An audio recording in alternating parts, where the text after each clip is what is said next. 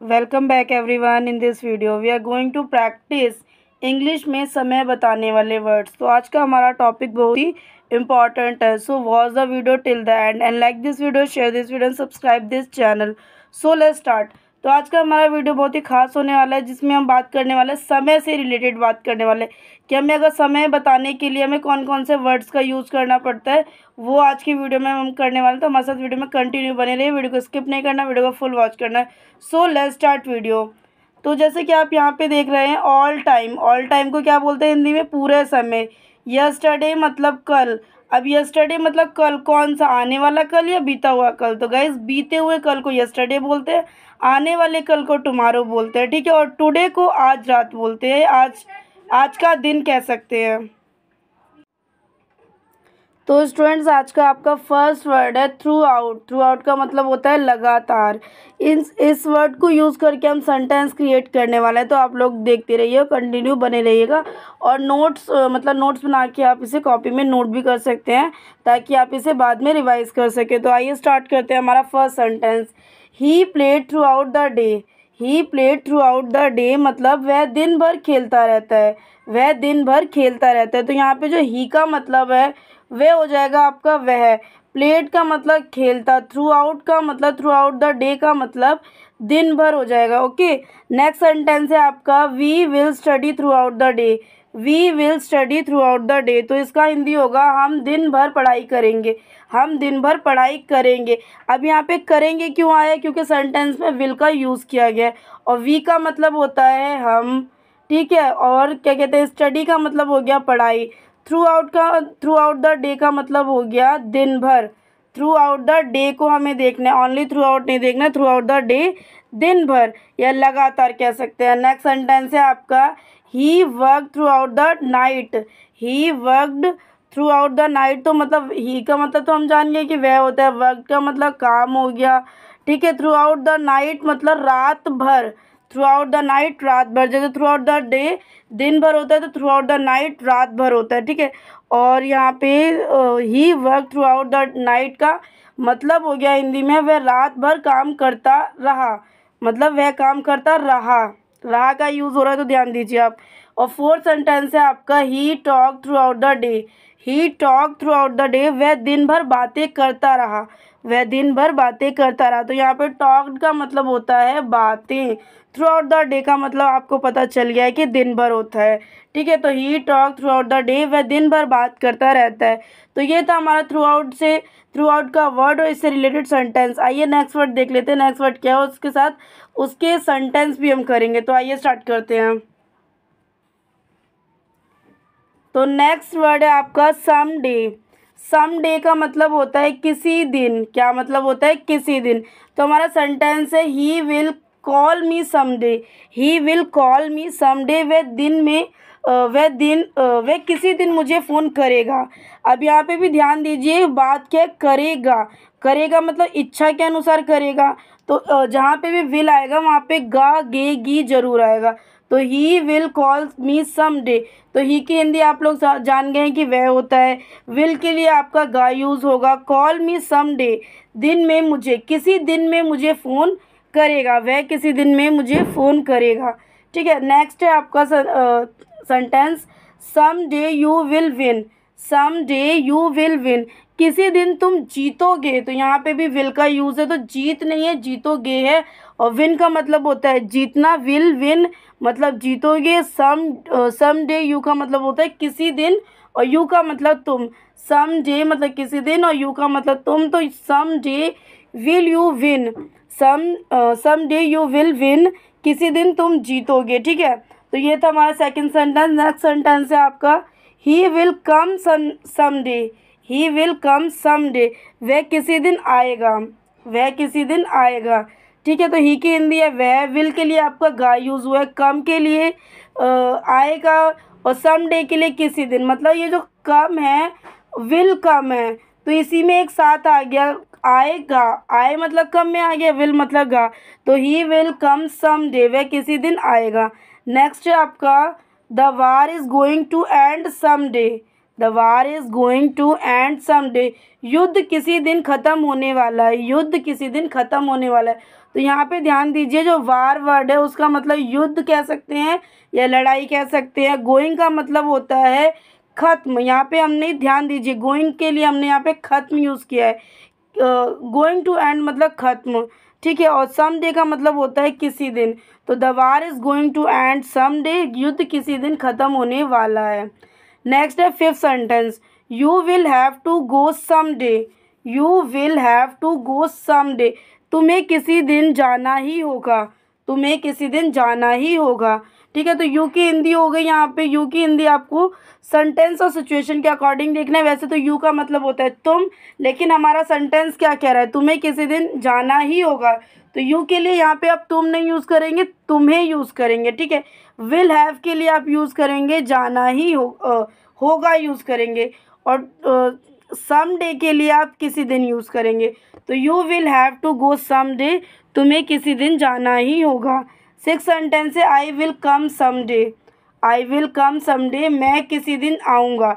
तो यहाँ पे आई की हिंदी हो गई है, मैं. ठीक है सम डे के लिए यूज़ कर दिया हमने, किसी दिन.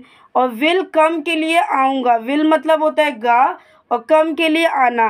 तो मैं किसी दिन आऊँगा। आई विल कम सम डे मैं किसी दिन आऊँगा. तो ये था हमारा सम डे वर्ड जिसका मतलब होता है किसी दिन, और इससे रिलेटेड हमने सिक्स सेंटेंस करे हैं। आई होप आपको सम डे के बारे में क्लियरिटी हो गई होगी। आइए नेक्स्ट वर्ड देख लेते हैं हम। तो नेक्स्ट वर्ड है स्टूडेंट्स आपका nowadays nowadays nowadays का मतलब होता है आजकल। नाव डेज़ का मतलब होता है आजकल। तो हमारा सेंटेंस है नाव डेज़ से related where are you going to sorry where are you going nowadays आजकल आप कहाँ जा रहे हैं? आजकल आप कहाँ जा रहे हैं? तो वेयर की हिंदी आपकी हो गई यहाँ पे? कहाँ? ठीक है आर के लिए आप है का यूज़ करेंगे यू के लिए आप यूज़ करेंगे। अब यहाँ पे ध्यान दीजिए यू के लिए आप आप भी यूज़ कर सकते हैं, तुम्हें, तुम और आप यूज़ कर सकते हैं, ठीक है। योर के लिए आपका या तुम्हारा यूज़ करेंगे। और नाव डेज़ के लिए हिंदी है आजकल। तो where are you going nowadays आजकल आप कहाँ जा रहे हैं? सेकेंड है आपका what is going on nowadays what is going on nowadays आजकल क्या चल रहा है? आजकल क्या चल रहा है? नेक्स्ट सेंटेंस है you eat very little nowadays you eat very little nowadays आजकल आप बहुत कम खाते हैं। Very little eat very little का मतलब होता है बहुत कम खाना। यहाँ पे हमने सेंटेंस को सिचुएशन के अकॉर्डिंग लिया है तो हम ये नहीं कह सकते ईट वेरी लिटल तो बहुत कम खाना ऐसे नहीं बोलेंगे ईट वेरी लिटल बहुत कम खाते हैं। You eat very little nowadays आजकल आप बहुत कम खाते हैं। फोर्थ सेंटेंस है आपका what do you like to do nowadays what to do what do you like to do nowadays आजकल आप क्या करना पसंद करते हैं?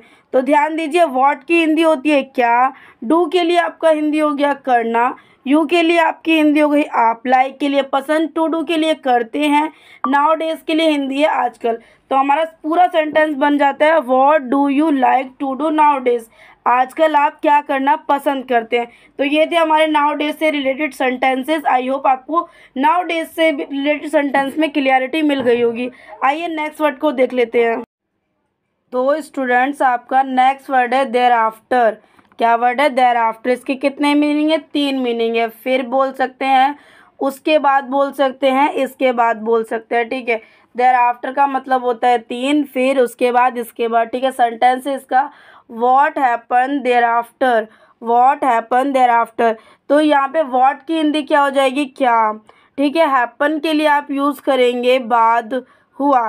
और देर आफ्टर मतलब उसके बाद सॉरी हैपन के लिए आपको नहीं यूज़ करना बाद देर आफ्टर के लिए उसके बाद यूज़ करेंगे। हैपन के लिए क्या हुआ बोल सकते हैं। वॉट हैपन देर आफ्टर उसके बाद क्या हुआ? वॉट हैपन की हिंदी क्या हो गई? क्या हुआ? और देर आफ्टर की हिंदी हो गई उसके बाद। तो ये सेंटेंस था हमारा। नेक्स्ट सेंटेंस है thereafter I came there after I केम उसके बाद में आया। मतलब देर आफ्टर की हिंदी हो गई, उसके बाद और आई की हिंदी हो गई मैं और केम के लिए आया यूज़ हो गया और यहाँ पे नेक्स्ट है thereafter I told him everything thereafter I told him everything तो देर आफ्टर की हिंदी हो गई, इसके बाद। ध्यान दीजिए, अभी हमने सेंटेंस में उसके बाद यूज़ किया, यहाँ पे भी उसके बाद। लेकिन थर्ड सेंटेंस में आ गया हमारा इसके बाद। तो सेंटेंस को हमें देखना पड़ता है कि हमें किसके साथ उसके बाद लगाना है, किसके किसके सेंटेंस में हमें इसके बाद लगाना है। तो इस चीज़ में भी आप लोगों को ध्यान रखना है। तो thereafter I told him everything इसके देर आफ्टर की हिंदी हो गई इसके बाद आई टोल्ड मैंने बात मतलब टोल्ड मतलब होता है बात, बताना टॉक की फॉर्म है ये भी, और एवरीथिंग के लिए उसे सारी बात बता दी, ठीक है? उसे सारी बात बता दी। Thereafter I told him everything इसके बाद मैंने उसे सारी बात बता दी। नेक्स्ट है आपका fourth eat food thereafter eat food thereafter इसके बाद खाना खाएँ। देर आफ्टर की हिंदी हो गई, इसके बाद। और ईट का मतलब होता है खाना खाएँ। खाएँ बोलेंगे ईट मतलब और फ़ूड का मतलब होता है खाना। खाए का मतलब होता है ईट फ़ूड का मतलब खाना देर आफ्टर का मतलब इसके बाद। तो नेक्स्ट सेंटेंस है आपका who came thereafter who came thereafter तो हु के लिए आप यूज़ करेंगे? कौन? केम के लिए आया। देर आफ्टर के लिए उसके बाद। तो उसके बाद कौन आया? हु कैम देर आफ्टर उसके बाद कौन आया? तो ये था हमारा देर आफ्टर का वर्ड जिससे हमने रिलेटेड सेंटेंस किए वर्ड्स सेंटेंस किया, उसका हिंदी में मीनिंग किया। आई होप आपको ये वर्ड समझ में आ गया होगा कि देर आफ्टर को हमें किस, के साथ कैसे यूज़ करना है। आई होप आपको यूज़ करना भी आ गया होगा। ठीक है तो आइए नेक्स्ट वर्ड देख लेते हैं। तो आइए स्टूडेंट्स अभी तक हमने बात कर लिया देर आफ्टर की।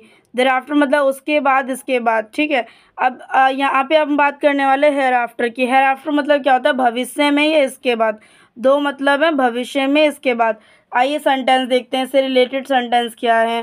तो आपके सेंटेंस इससे related there hereafter you can come hereafter you can come तो हेयर आफ्टर की हिंदी क्या हो गई? इसके बाद यू की हिंदी हो गई, आप कैन कम मतलब आ सकते हैं। कैन मतलब होता है सकता, सकते, सकती। और कम के लिए आ, आना तो आना मतलब होता है, लेकिन आ लिखेंगे। इसके बाद आप आ सकते हैं। Hereafter you can come, इसके बाद आप आ सकते हैं। नेक्स्ट वर्ड नेक्स्ट सेंटेंस है, hereafter I will go. Hereafter I will go मतलब इसके बाद मैं चला जाऊँगा।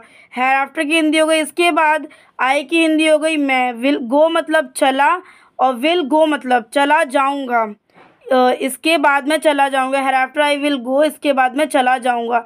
नेक्स्ट है आपका hereafter I sent him hereafter I sent him तो हेर आफ्टर की हिंदी होगा इसके बाद और आई के लिए आपको यूज़ करना है। मैंने सेंट मतलब भेज हिम मतलब उसे।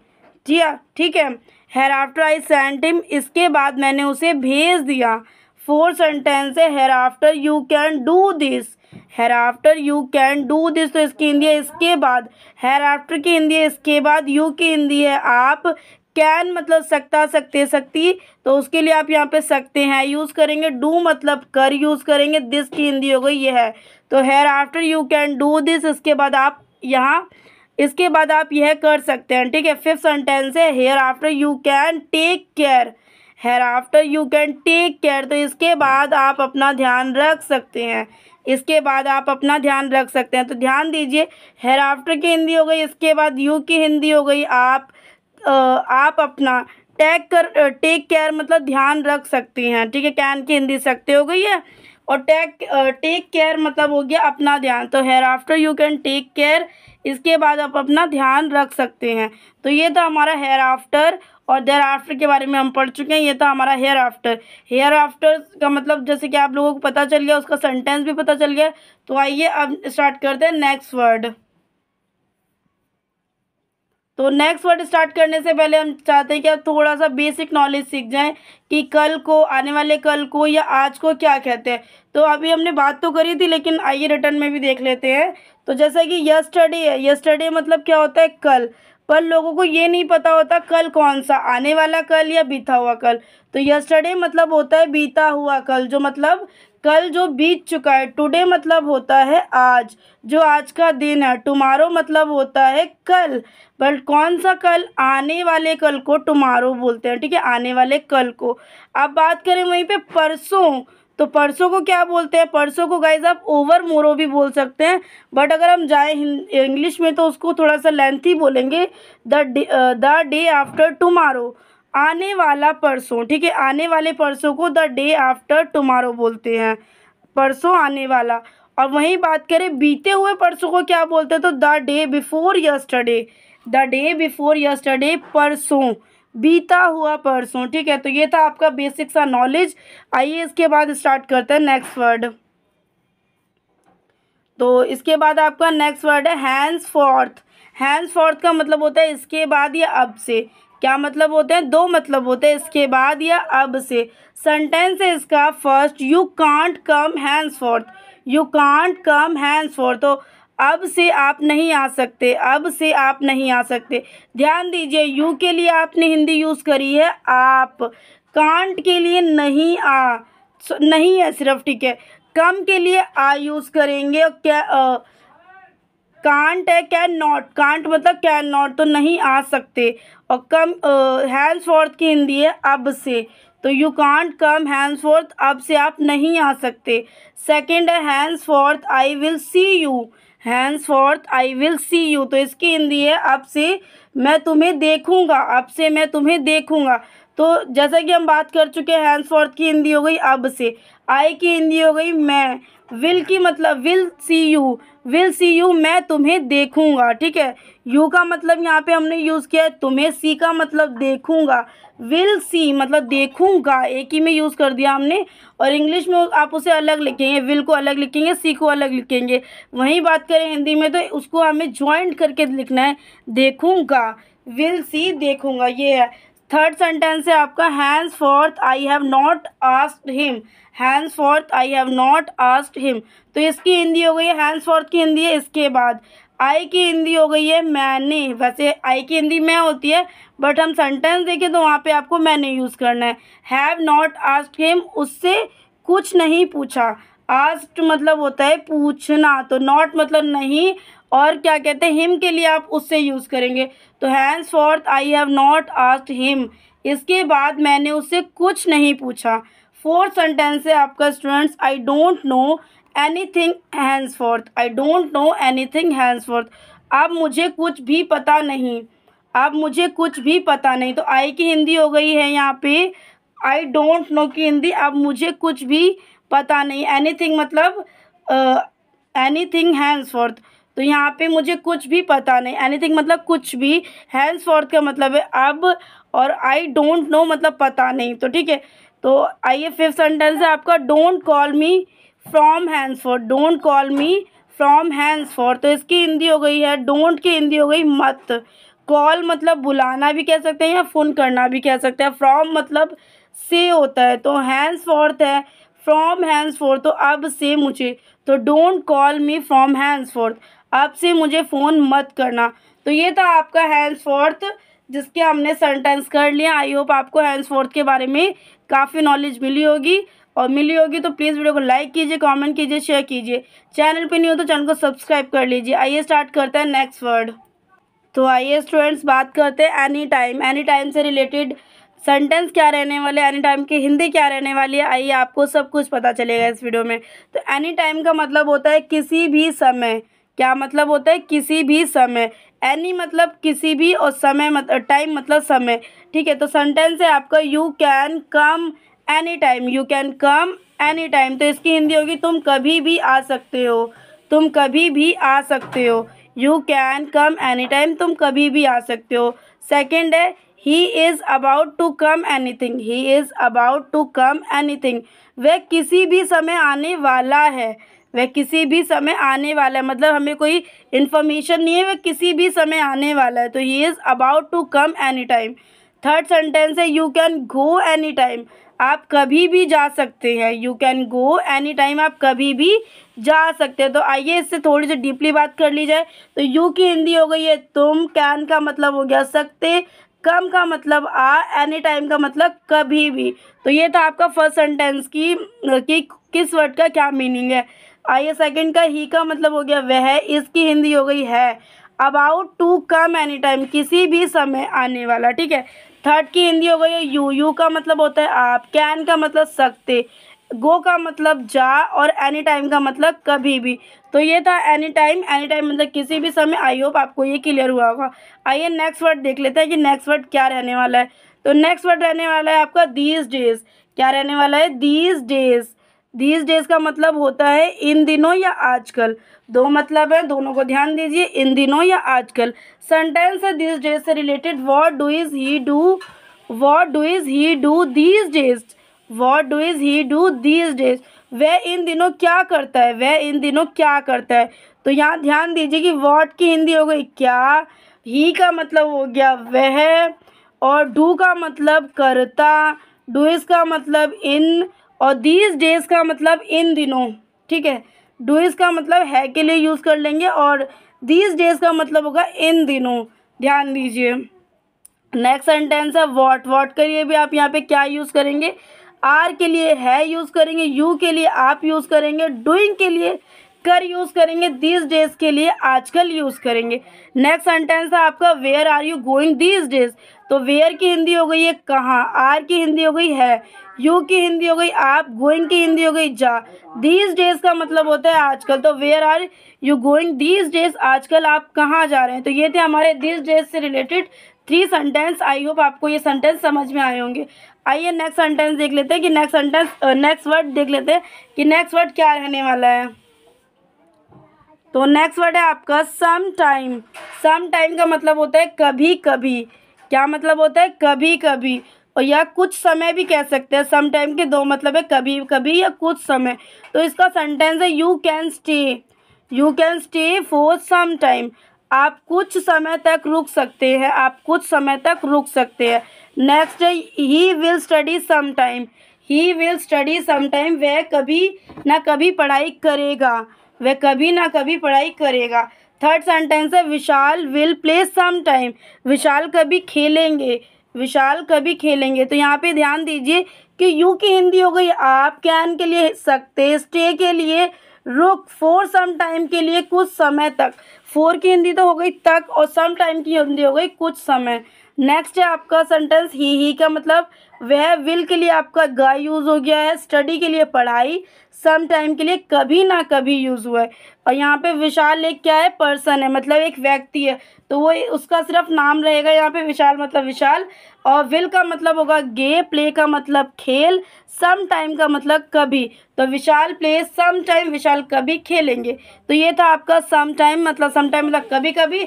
आई होप आई होप आपको सम टाइम से रिलेटेड सेंटेंस समझ में आएँगे आइए स्टार्ट करते हैं नेक्स्ट वर्ड गाइज़ ये वीडियो का आपका लास्ट वर्ड रहने वाला है तो ये लास्ट वर्ड को आप बहुत ही ध्यान से सुनिएगा। वेयर इन क्या वर्ड है? वेयर इन वेयर इन का मतलब होता है जिसमें, इसमें। क्या मतलब होता है? जिसमें, इसमें। ये किसके लिए यूज़ होता है? किसी चीज़ के लिए यूज़ होता है। मतलब किसी थिंग के लिए, किसी सामान के लिए यूज़ होता है। वेयर इन जहाँ पे कोई सामान हो, कोई थिंग हो, वहाँ पे यूज़ होता है। तो सेंटेंस है इसका wherein she was right wherein she was right तो वेयर की, इनकी मत, हिंदी क्या हो गई? जिसमें। ठीक है? शी का मतलब हो गया वह। वॉज़ का मतलब हो गया थी राइट का मतलब हो गया सही। तो wherein she was right जिसमें वह सही थी। नेक्स्ट सेंटेंस है wherein he will right wherein he will right तो वेयर इन की हिंदी हो गई, जिसमें और ही की हिंदी हो गई। वह विल का मतलब हो गया गा राइट का मतलब सही। ठीक है तो wherein he will right जिसमें वह सही होगा। थर्ड सेंटेंस है आपका tell him wherein he is wrong tell him wherein he is wrong तो उसे बताओ कि वह कहाँ गलत है। उसे बताओ कि वह कहाँ गलत है। तो टेल का मतलब होता है बताना या बताओ। हिम का मतलब उसे वेयर ही इज़ रॉन्ग वह कहाँ गलत है? वेयर ही इज़ रॉन्ग वह कहाँ गलत है? तो ये था आज का वीडियो। आई होप आपको आज का वीडियो पसंद आएगा वीडियो पसंद आया तो वीडियो को तो स्टूडेंट्स ये था आज का हमारा वीडियो। आई होप आपको हमारा वीडियो पसंद आएगा वीडियो पसंद आया तो प्लीज़ वीडियो को लाइक कीजिए कमेंट कीजिए शेयर कीजिए। चैनल पर न्यू तो चैनल को सब्सक्राइब कर लीजिए। एंड मिलते हैं नेक्स्ट वीडियो में ऐसे यूज़फुल वीडियो के साथ।